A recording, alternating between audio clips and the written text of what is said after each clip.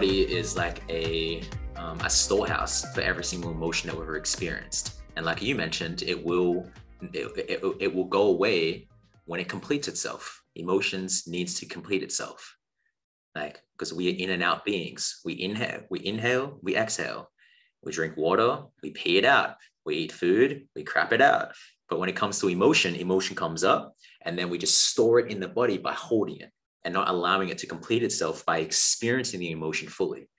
And one thing that I want to point to as well from what I was just sharing is that there's a difference between unconsciously experiencing an emotion through reaction and then consciously going into an emotion to allow itself to complete, to fully experience it. So when I'm feeling anger, there's going to be times for sure, because we are human, where we're going to unconsciously react to an event, right? And there's also a very beautiful practice when you consciously go into an emotion to allow itself to complete. So if you're feeling anger, you go in and you can throw a tantrum and you can allow yourself to be a victim. This is something I did just recently. So uh, share a personal story. So about two and a half weeks ago, um, I was sitting in my bed and I, I got a notification on my phone. And I looked over to my phone and it was a message from my mom. And when I read the message, I just felt my heart sink. And it was a message saying something along the lines of, Hey, Matt, um, just letting you know that my dog in, in Australia, her name's Zena, um, Zena is dying. She's getting old and she's dying, and we don't know if there's anything that can save her. And I'm sure for anyone who has ever had a pet or has a pet, you know that um, it's not like they're like family, they are family. They're part of the family. And instantly, I just felt this heaviness in my body because right now, at the time of this recording, I, I'm not a I'm not I can't fly to Australia um, because of air because of lockdown. So instantly, I went into feeling trapped and feeling like I just wish reality was different to the way reality is right now. So what I did was after uh, replying back to her and, and, so on, I consciously went into my victimhood. Like, am I allowed to swear on here, Kim? Go for it. I was like, fuck this. I just want to be able to go. Like, this is fucking shit. I fucking hate the government. I'm, I just wish I could just be able to fly. This fucking coronavirus. I'm just so sick of this. But I was doing it with conscious intent to allow the emotion to complete itself. I wasn't going into everything is just perfect universe is working for me, not against me. I went, no, fuck this. This is absolute bullshit. Breathed, screamed into a pillow, snot was coming out, tears were coming out because I just couldn't go and hold my dog as she's dying. And from that, afterwards, I just felt this massive, this massive release. And I could have gone months or year or even never and just totally resisted the emotion that was showing up. But that's what I mean as going back to what we're doing as kids, like just releasing the emotion. But now it's just doing it with conscious intent. So I didn't even know what the question was, but hopefully that helped in some way. Oh, we're sending so much love and healing to Zena. Oh, Thank you. Yeah. Um, I can completely relate to that. And one of my best friends, Gina, always reminds me of this because you know, she also does the work and she's a self love coach. And sometimes she goes into this moments of like, it's so annoying. I'm so pissed off. And because I'm a friend, I'm like, oh no, but it's all going to be fine. You know, you know this, you know, it's all going to work out.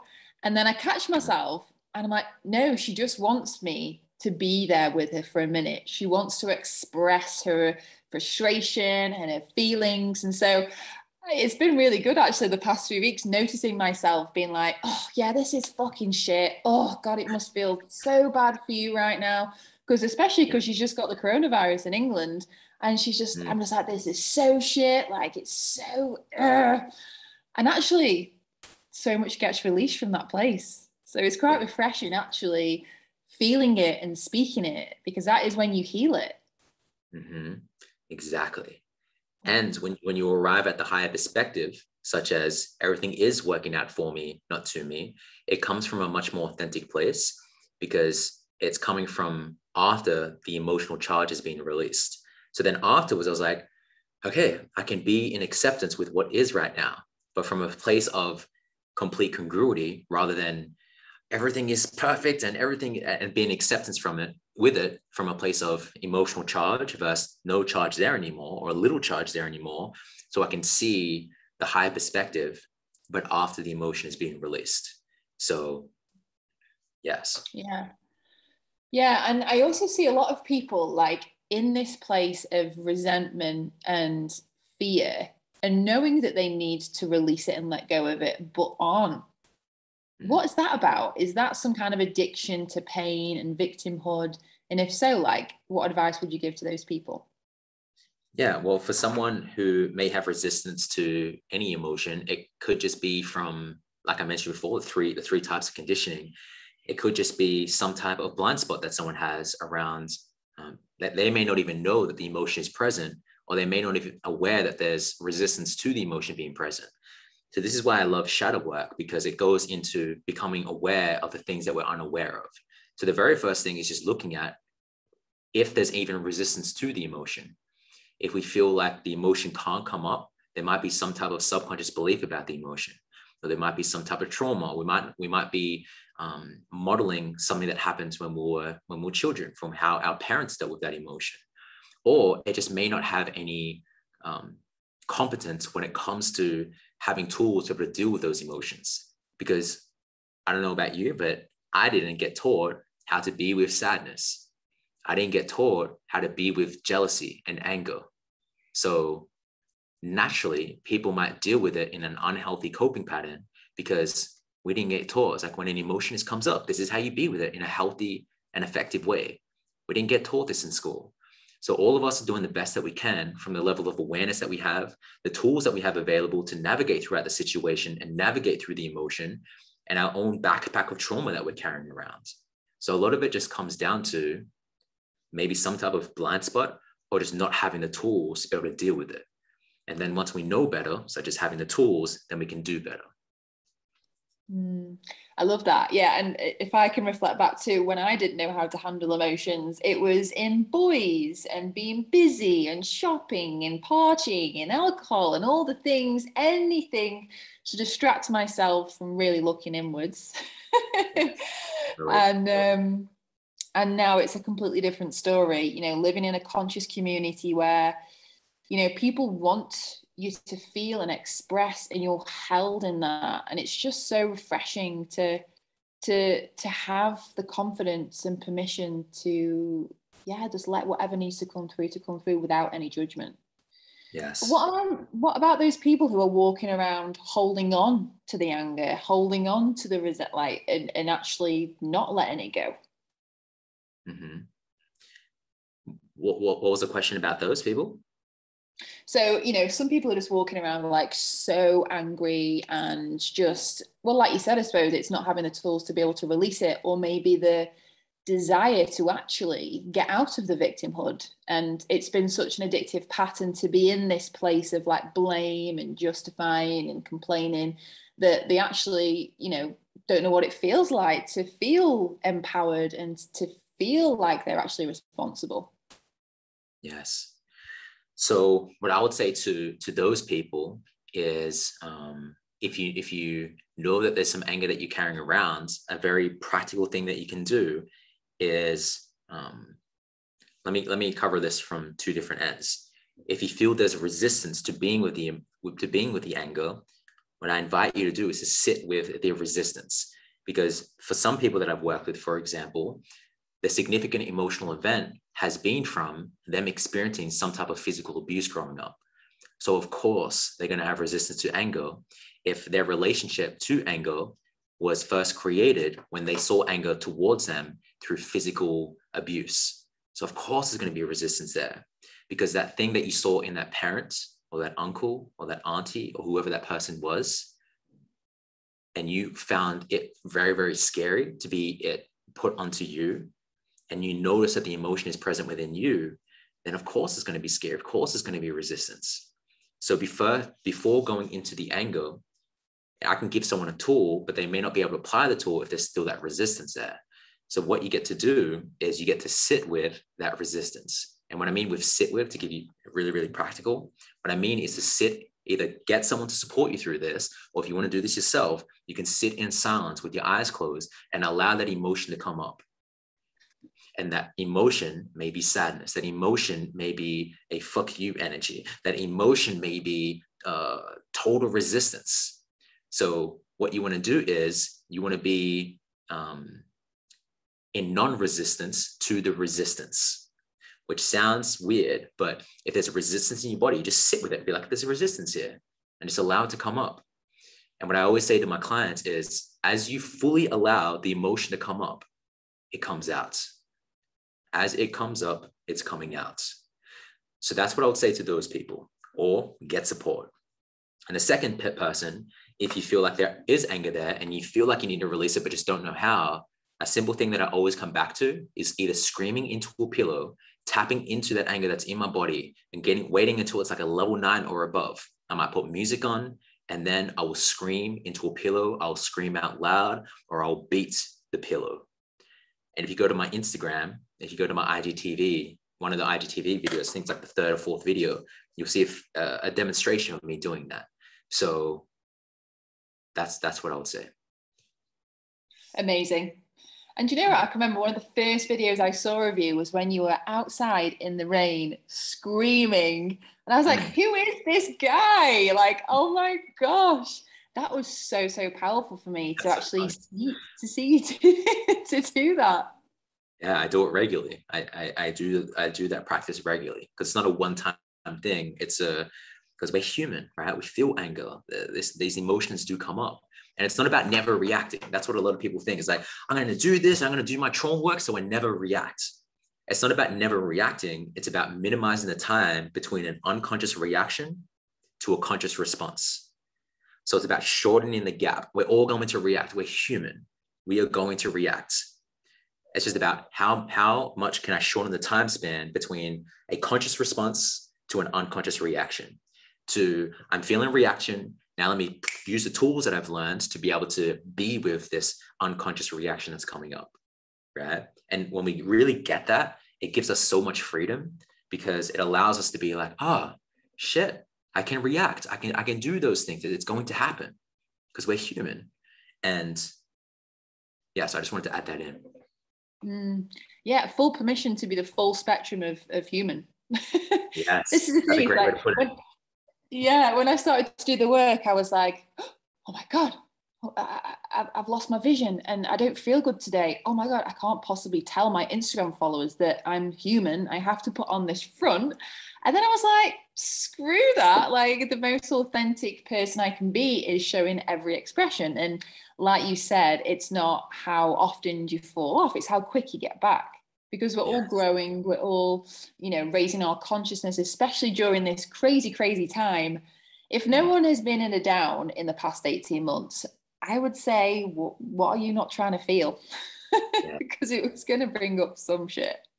Or you know somebody that we don't and i want to sign you up as my coach asap because yes we're human.